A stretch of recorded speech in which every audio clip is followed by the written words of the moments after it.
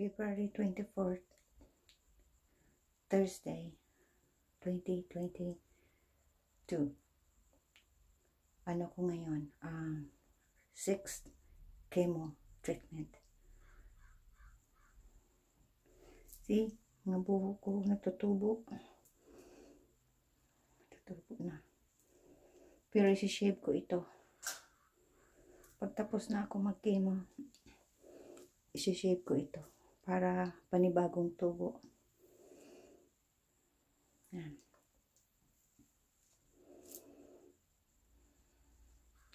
Maraming salamat pala sa mga nag malasakit sa akin. Appreciate ko talagang kaputihan nyo. Maraming salamat sa inyo. Lahat.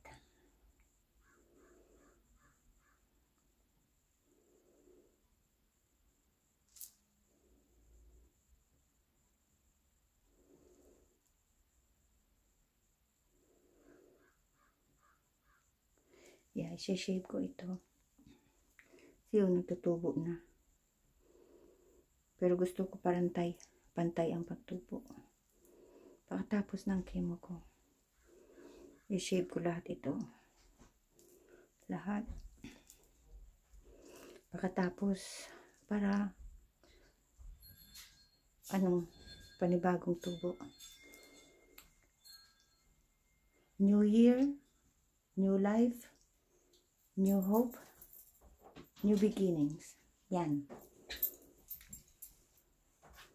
Yan ang ano kung bakit gusto kong ipashave ito. At nasasanay na rin ako na ganito ang buho ko. Kalbo ako. Karamihan dito ganito eh. Karamihan sa mga babae nagpapakalbo. Tapos malagay ng mabili ako ng hikaw malaki. Yan. Yan. Yeah. Nasasanay na rin ako na wala akong buhok. Dati, umiyak ako nung nag, ano ako sa salamin na naglalagas na yung buhok ko. Ano, umiyak ako ta. Nagpipikol na ako. Ano na, dahil yung mahaba akong buhok. Pero okay lang, tanggap ko na. Kaya ngayon, ito, natutubo na din dito. Hmm. Yan. Okay.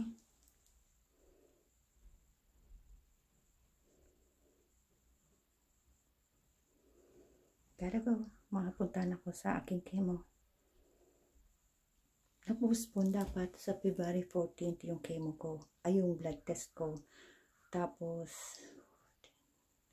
sa 17, February 17, dapat yung chemo treatment ko. Kaya lang, yung nagka-COVID nga ako. Kaya, na-postpone. Ngayon, nagpa-blood test ako ng Feb February 22nd, Monday.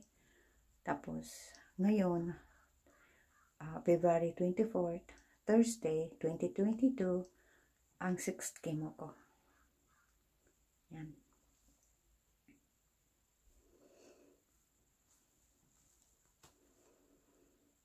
Okay. I'll be back.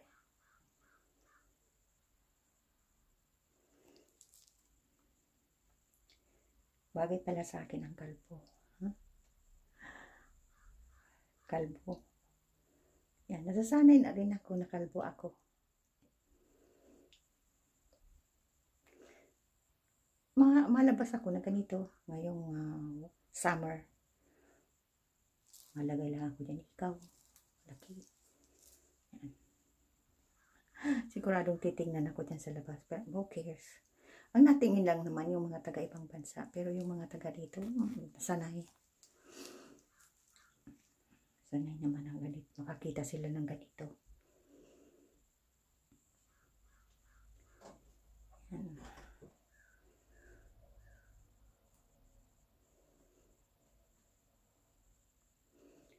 Maraming salamat sa inyo lahat ha. Doon sa mga malasakit sa akin, sa mga nag prayer sa akin. Appreciate ko talaga lahat na kabutihan niyo sa akin. Maraming, maraming, maraming salamat sa inyo.